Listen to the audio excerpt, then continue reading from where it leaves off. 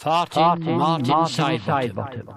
A warning, to children, who are full of hot air. Stop breaking wind or you'll better beware. Uh, Please note that this book is not for parents of a delicate disposition. Consider yourself duly cautioned. There was no one who ever embarrassed you more than Martin Sidebottom, the kid from next door. Martin was one of those horrible boys who was expert at making a rude kind of noise. At the back of the classroom he sat there and grinned as he leaned to one side, held his breath, and broke wind, blaming his friends for the smell which was rotten as he parted his cheeks and let rip with his bottom. His mum was aghast at such sounds from her son, but to Martin a gust just meant having fun.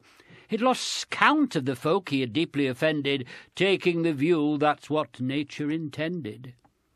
With practice each day on a diet of prunes, he'd learn to perform a selection of tunes. He'd lift up his buttock from where he was sat and manage a range from F sharp to B flat.